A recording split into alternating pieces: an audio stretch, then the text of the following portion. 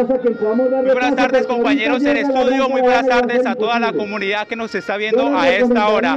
Me encuentro en el As de Copas, donde se está llevando a cabo la movilización por el paro nacional en contra de la reforma tributaria del gobierno nacional. Es por ello que en este instante están llegando la comunidad, está llegando la gente, las organizaciones sociales aquí a las de Copas para realizar lo que serán bloqueos en este sector.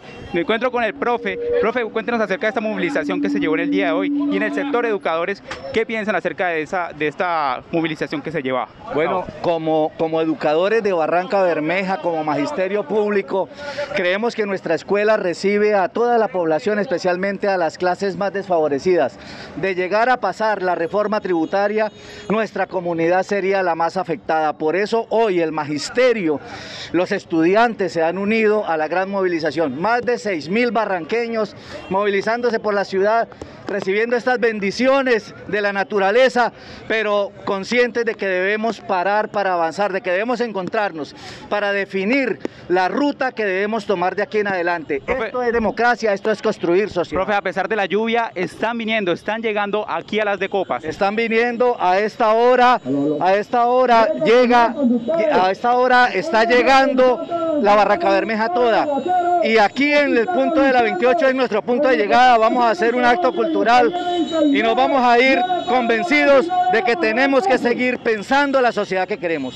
¿Profesional realizar algunos bloqueos en este sector? Eh, no, no hay bloqueo, lo que hay es un cierre de vía para evitar accidentes. Es eso lo que estamos haciendo, porque más de 6.000 personas aquí sería muy riesgoso, entonces por eso se cierra la vía. Esto ya está pactado con la autoridad, nuestra movilización es pacífica, es para la, es para la construcción de nuestra sociedad. Profe, por último, ¿hasta qué hora van a estar aquí en el As de Copas? Hasta que la gente decida. Si la gente ahora que llegue se va a almorzar, pues hasta ahí. Pero si decide quedarse, hemos tomado la decisión de escucharlos y de hacer este pare porque se hace necesario. El gobierno tiene que escuchar al pueblo.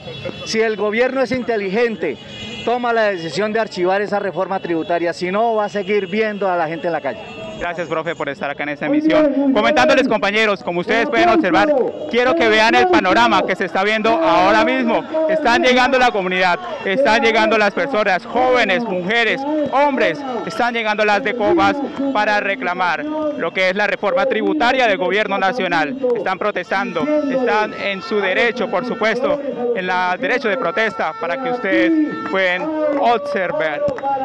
Las personas están llegando en estos momentos acá las de copas.